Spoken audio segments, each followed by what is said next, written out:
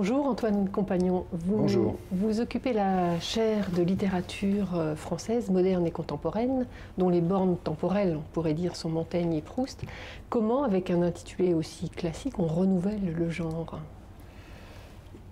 En prenant des sujets euh, assez différents euh, chaque année, différents de ce que j'ai déjà fait par le passé, parce que ça fait quand même une bonne trentaine d'années que je fais de la recherche euh, en littérature française, de Montaigne euh, à Proust, en effet, à peu près, puisque ce sont les bornes de la littérature française et contemporaine. Donc j'ai un domaine assez large euh, dans lequel il y a beaucoup de recherches nouvelles à faire. On renouvelle constamment la manière de lire les textes et je crois qu'on est passé aujourd'hui à des études qui probablement sont plus culturelles, hein, euh, où euh, on recherche à euh, remettre les textes dans, leur, dans un contexte plus large qui n'est pas nécessairement strictement littéraire et on contextualise la littérature.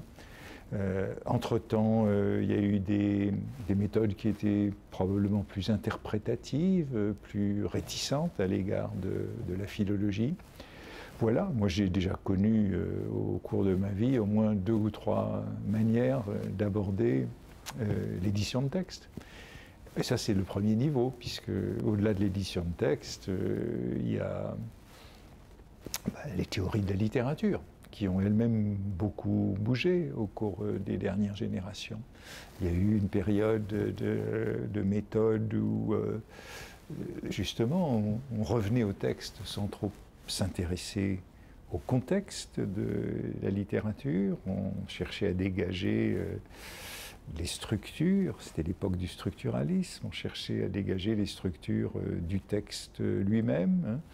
Euh, c'était le moment où on s'intéressait peu à l'auteur, où on parlait de la mort de l'auteur.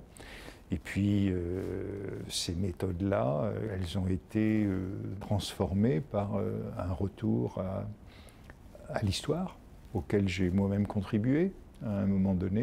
Et puis il y a eu euh, depuis d'autres tournants. Hein. Il y a eu donc un tournant linguistique, un tournant d'histoire culturelle que je décrivais. On a beaucoup parlé d'un tournant éthique euh, dans euh, l'approche de la littérature au cours de la dernière génération. L'un des cours euh, que j'ai fait au Collège de France il y a un certain nombre d'années portait sur s'intitulait Morale de Proust. Donc j'avais abordé en effet l'œuvre de Proust d'une manière que qui ne m'était pas familière, hein, qui était nouvelle pour moi. Nous sommes en 2013, euh, c'est l'année de Marcel, pourrait-on dire, et vous, vous n'échappez pas euh, à la mode, entre guillemets.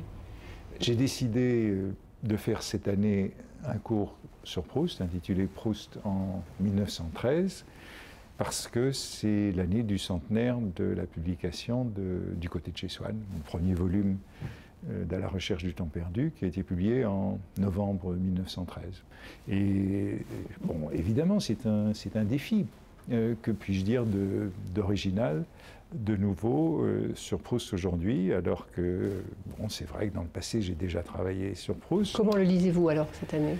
J'ai décidé de le lire de manière, je dirais, un peu naïve, un peu candide, en mettant de côté euh, l'érudition pour me demander comment l'aborder un lecteur de 1913. C'est bon, euh, une idée euh, évidemment un peu utopique, mais euh, de, repérer ce, ce, qui pouvait déconcerter dans le livre, parce que je crois que une œuvre comme celle-là est, est devenue une œuvre canonique, euh, elle a été enseignée à l'université et puis euh, dans le secondaire.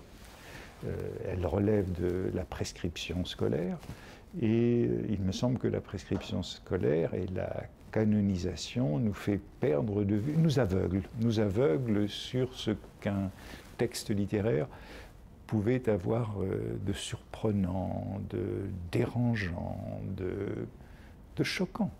Or, euh, bon, euh, les, les, lecteurs de l'œuvre de Proust ont été choqués quand ils l'ont découverte. Qu'est-ce qui les choquait?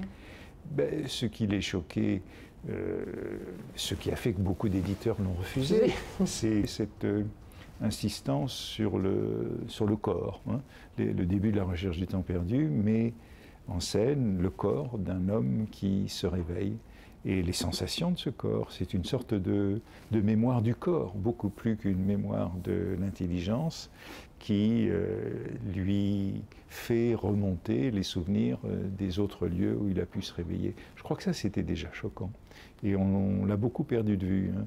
Euh, en relisant le début pour ce cours, je m'arrête à un certain nombre de, phrases, de propositions auxquelles on n'a pas assez prêté attention. Euh, en quelques semaines, il m'est déjà arrivé de trouver, peut-être euh, au sens bêtement philologique, un certain nombre de, euh, de, modèles ou de phrases que je crois que je peux presque proposer comme, comme des sources qui avaient été ignorées jusqu'ici. Donc même de ce point de vue, on peut, je dirais du point de vue le plus positiviste qui soit, la recherche littéraire sur une œuvre relativement bien connu euh, n'est pas achevé. Je crois que, je crois que nous résistons à la littérature.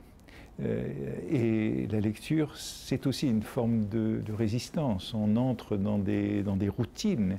Et il est important, devant un texte euh, que l'on connaît bien, de retrouver une attitude, euh, comme disait Baudelaire, d'enfant ou de convalescent qui voit le monde en nouveauté. Il faut être capable de retrouver cette sorte de virginité qui fait que vous lirez dans un texte des choses que vous n'avez jamais lues. Sauf que là, vous cumulez deux difficultés. Donc, vous essayez de retrouver la première fois et en même temps euh, une époque que vous n'avez pas connue. Comment vous vous transportez dans le temps? Voilà, les deux. Parce que je crois que, bon, je crois que il y a toujours un défi dans l'étude littéraire qui est celui de la distance euh, temporelle. Nous, nous intéressons à la littérature à partir de nous-mêmes, de notre propre horizon. Euh, nous posons à un texte littéraire nos questions d'aujourd'hui. Sinon, le texte serait mort, on l'utiliserait ou on l'étudierait comme un document historique. Euh, les textes littéraires ont cette propriété de nous toucher encore. C'est en cela que ce sont des, œuvres d'art. Donc euh, nous y venons avec nos questions. Et en même temps, il importe, et je crois que euh, dès qu'on est un peu lecteur, on se rend compte qu'une perspective historique est indispensable, qui cherche aussi à comprendre la littérature dans son propre contexte. Et ben, c'est ce que euh, traditionnellement, on a appelé le cercle herméneutique. Hein. On passe des questions que l'on pose au texte aux questions que le texte lui-même posait euh, dans un certain contexte. Et qu'est-ce qui peut nous éclairer sur les questions que posait euh, ce texte? Eh bien, en général, c'est sa première réception. Comment a-t-il été compris par ses premiers lecteurs? Donc euh, cette sorte de cheminement circulaire qui est celui de l'interprétation hein, entre notre présent et le présent de la littérature, c'est vraiment le béaba euh, de ce métier de chercheur en littérature.